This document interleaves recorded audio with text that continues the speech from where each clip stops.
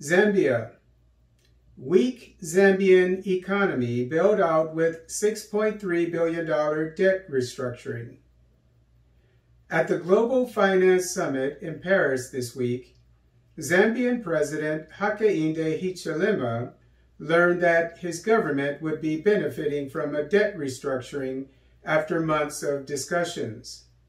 Zambia owes several governments, including France, the UK, South Africa, Israel, India, and China, $6.3 billion, with $4.1 billion being owed to the Export-Import Bank of China. In 2020, Africa's largest copper producer became the first African nation to default on its debt payments during the global pandemic. Elected in 2021, Hichilema inherited a staggering foreign debt racked up by his predecessors, Michael Sata and Edgar Lungu. Unlike Lungu, who borrowed excessively from the Chinese to finance infrastructure projects, Hichilema promised that he would pivot toward the West to solve Zambia's economic woes while on the campaign trail.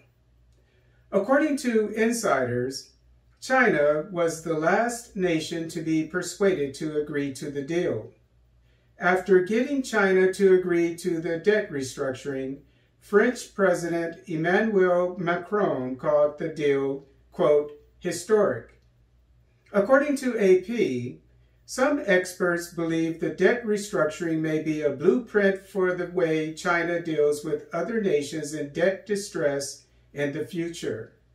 Although the details of the deal have not been published, insiders say it involves Zambia repaying its debt over a 20-year period, a three-year grace period during which only interest will be paid, and a clause encouraging private lenders that hold an additional $6.8 billion of debt from Zambia to restructure their loans as outlined in the agreement.